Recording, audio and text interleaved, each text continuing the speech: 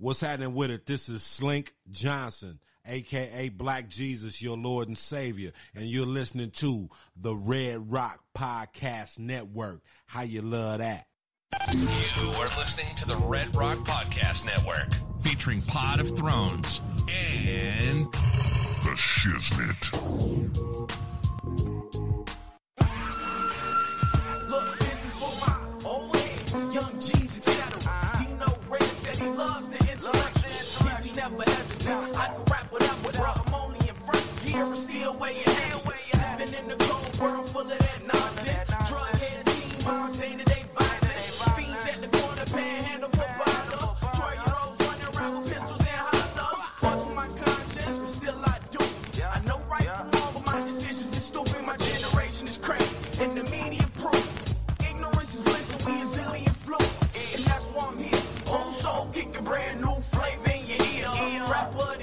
This is the Red Rock Podcast Network. From Red Rock Studios in Los Angeles, California, this is the Shiznit. Now, put your hands together for the Shiznit. Hey, welcome back to another episode of the Shiznit Show. I am your boy. I am your host, Dino Red, and I have with me, as always, my ride or dies, Miss Dijon Monique. What's up, world? It's your girl. The man, the myth, the legend, Mr. Pip Lily. Oh my gosh, I'm having a stroke, I think. Yeah, I hear my own voice. yeah Dijon has her sound on, so there's feedback. Oh, are you on live? Yeah, I don't know. I'm Yeah. on Castbox. Yeah, you can't you can't have the sound up though. You gotta have the sound down. All right, there we go. Technology. Technology. Hey, welcome back, everybody. Welcome, welcome, welcome, welcome, Castbox uh, live chat. Welcome to uh, Beat Break Radio, 87 FM, where music and talk radio lives. Welcome to everybody on all the platforms all over the world who are checking us out. Welcome. Hey Dino. Yes, of sir. technology, did you hear about that drone downtown with the fireworks on it? Uh, I did not. I did not. When was this? When was this? What day was Wednesday. this? On Wednesday, part of Seventh Street was, Was- shut down. I was going to say, but that was on our block, Yep, right? Exactly. I didn't know what it was, but I knew something was going on because we were surrounded. there was a drone with fireworks on it. That's what? was going on. Yeah, on top of a building. Because the they were talking about the prom there. squad was out there and everything, Wow. but we Did didn't. you say the prom squad?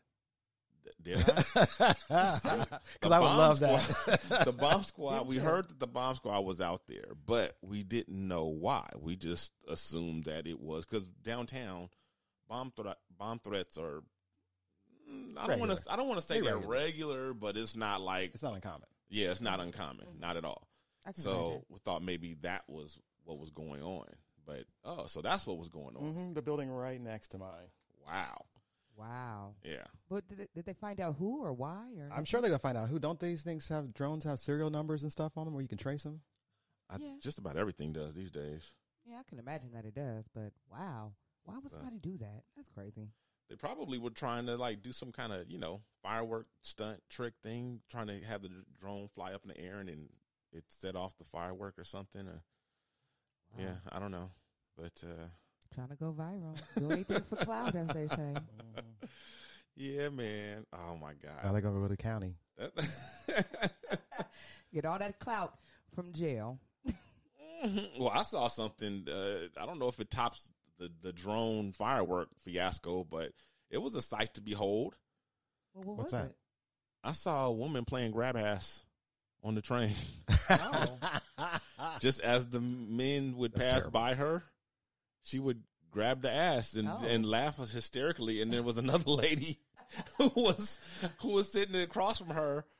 Who wasn't with her, but was like just tripping off of her, and was just I like can just cracking up. And I was look, I was sitting next to this this this younger guy, and he just looked appalled.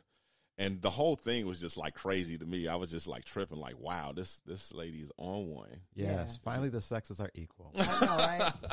It, Equality. it reminds me of uh, junior high school when we used to play grab ass. It was you know, those, that's what when we used to do it back in a whole nother different time when you could do that sort of thing. I and it was it was boys and girls. It was you know girls gave as good as they got. Yeah. It wasn't it wasn't just a I've grabbed One many way ass thing. in my day. So I Yeah. can attest to that. My ass has been the same size since the fifth grade. Do you know how many people have Humongous? grabbed my- humongous? the same ass I have right now on this middle-aged body was on a fifth grader. That, that's cra- now that's a sight. The to teachers could pick me up by my ass and put me back in my seat. Sit down. Sit down. Okay. Well, we got a full show for you guys today. We're I'm bringing back a segment that we haven't had in a long time, and ooh, we had huge response for the from the uh, question of the week this week. So Great. hang on, guys. Hang on, Did they chat. make you proud this week, Dino? so yeah. Oh, my, yes, yes. They got a little carried away. Didn't follow directions, but but you guys. They participated but the, well. they participated well. They played nice, you know, and uh, but they just got so. I, I, you know, I don't, I don't love when they spam the thread, but I understand if it's a, a topic that's just so engaging to them and they Mm-hmm. can't resist. So I kind of get it. You know, I'd rather for them to kind of overdo it than to like just be like, "Ah, I ain't checking with for them. I Right. You know, be enthusiastic Right. than to be blase. right. Okay. So that's what we had going on this right. week. So we had a it. lot of them, a lot, a lot of them. So most of the repeats didn't make it in because it was just way too many. But anyway, all right. Uh, so with that, let's go ahead and uh, get into these topics. Let's get do it. started. News and noteworthy. The Shiznit. Okay. Is that coming in loud for everybody or just me? No, it's loud. That's loud. Okay. It's My loud. headset's a little loud. Okay. That's cool. All righty then.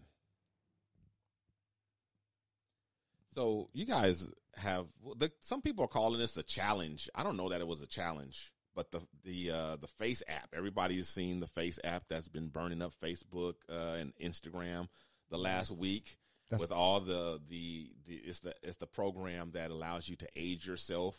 Or, or actually, you can make yourself younger as well. But everybody has kind of chosen to do the old version of themselves and posting it all over the place. And Which blows my mind, but whatever. I love. Uh, you know, I I do like the pictures. It is 'cause it is remarkable that it, it looks like a real person, like how you would actually age. It's very Yeah, fun. I it think it's very fun. I think it's, you know, it, what- what's weird to me about it is like you got the the. It seems like the the segment of the population is kind of divided into two people. You got the the for the most part, you got the people who kind of hop on every little trend or thing that's going on or whatever, and then you got the other half that gets annoyed by everybody that's hopping Right, on the right. trend, whatever. And then there's a few people like me in the middle that just kind of like, ah, it's just a fun thing. Who cares? I don't really care. It's like you know, sometimes I participate, sometimes I don't. Uh, I was actually intending on getting on board with this whole face app thing. This this seemed kind of fun. And it's different than the, the typical challenges. You know, I didn't have to sing or dance or do anything like that. eat, eat cinnamon, you know, I didn't have to do anything to risk my health. right? So, Eat a Tide Pod. you know, no Tide Pods, How nothing about like the that. car or- while it's moving and stuff like yeah, that? you know, no kikis, and I don't have to get dumped on with a, a, a ice bucket? ice bucket or or a boiling bucket of water or anything like that. Get so I was glittered. like, Oh my god. yeah, I was like, I can get with this one. Oh, and my just when I was about to get on board with it, then the DNC came out Uh-huh. talking about the Russians own that app and they're hoarding your information and you got to sign away all your rights. And well, we have a video. I'm gonna go ahead and play the video and you can hear firsthand what exactly is going on with this uh, Russian face app. Is the face aging app just good viral fun? Or are you sending your photo to the Russian government? Face app uses artificial intelligence to make photos of people look older or younger. But soon after it shot to the top of the app charts, privacy advocates began issuing warnings. I looked under the hood of the app and reached out to its CEO. Here are five things you should know that aren't very clear in the App Store or in FaceApp's privacy policy. Number one, what data do they take? FaceApp CEO told me the app does upload your photos and process them in the cloud. The app has access to your whole camera roll, but it only uploads the one image you've selected, they say. You also don't have to give FaceApp your name or email. Number two, how long do they hold on to your data? The app's terms of service grant it a perpetual license to whatever you upload. But FaceApp says it deletes most photos from its servers after 48 hours. I'm not sure what most means. Okay, number three, what are they doing with your data? The app's terms give it the right to do whatever it wants through its irrevocable, non exclusive, royalty free, worldwide, fully paid, transferable, sub licensable license. Got that? It's theirs, only theirs, for free, anywhere, and forever. But FaceApp CEO tells me they're not using maps of our faces for facial identification or other purposes not related to the main creative purpose of the app. Number four, who has access to our data? FaceApp CEO says no, the Russian government does not get access to your photos. Unless you already live in Russia, the data is never transferred there. Number five, how can you delete your data? No, just removing the app from your phone won't remove what FaceApp has stored in the cloud. You can ask FaceApp to delete what they've got stored, but it's a convoluted process. For now, you've got to dig through the settings menu and report a bug with the word privacy in the subject line. Whether it's for FaceApp or any app, these are five questions you should ask about any service you're going to trust with something as valuable as your face. So this is the thing. You guys may not necessarily feel like you need to go and delete the app immediately. And you may feel like you should. It just it's about knowing, mm-hmm. you know, what what you're doing and what you're involved in and who you're giving permission to and whatnot. So basically if you do sign up for this app or download this app and you know, agree to the waiver and all that kind of stuff like we normally do without reading them, mm-hmm. you know, just know that you're allowing them to take your image and to keep it and use it basically forever. They're all the rights, you know, signed away. They can do whatever they want to with it. If you're fine with that, some people may be. Then ha- you know, have fun with your app. If not, kick back and wait. I'm sure somebody will come out with a version that doesn't, you know, require you to sign your Whole life away in one photo. in your firstborn. Well, they also have access to your entire camera roll. all That's true. They do. They mm-hmm. say they only they mm-hmm. say they only have the one that you upload, but mm-hmm. They have access to your whole camera Yep. roll. So They say they didn't give black people gonorrhea Right. they say a lot was of it things, syphilis? or syphilis. Syphilis. Excuse me. Yeah. Right. he even the man said himself he doesn't know what most means.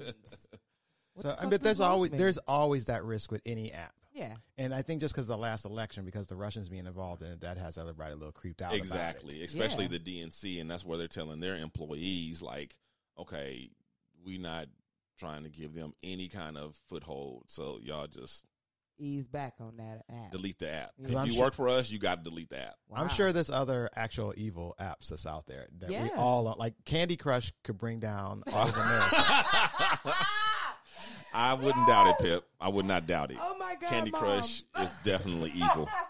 I just sent my mom like twenty five dollars Google Play so she can get her Candy Crush on. I promise you guys. she's doing the free. She's doing paying the, on the on the app. Let me tell you, it's real. I, I've, it's real out here. I've Candy probably Crush. unfriended 500 people on Facebook because of Candy of the Crush. spam, right? Because of the spam. She don't care. she don't care. I need free lives. Exactly. That's what she says to me too. No, but if you sign up, then I get a hundred candy dollars. I'm not signing up just so you can keep playing the game. So another challenge that's in the in the news and media and everything right now, which is actually more of a challenge, is the cucumber challenge. Have you guys heard of that? Oh my God. I've I've, I I've wish done I some have cucumber not. challenges. Well- He's like, not only uh, I'm a member, I'm the president. I've actually never heard of the cucumber challenge. Actually, I hope it's what I think it is. Right. It is. It is. It Thought is. was- It is. Thought it was called sucking dick, but whatever. Oh. anyway. Well, yeah. I mean, you know, when you actually doing that, that's what it is. But yeah, when you're simulating it, yeah, it, it and you know what's funny to me is with the cu- with the cucumber challenge. To me, it seems like the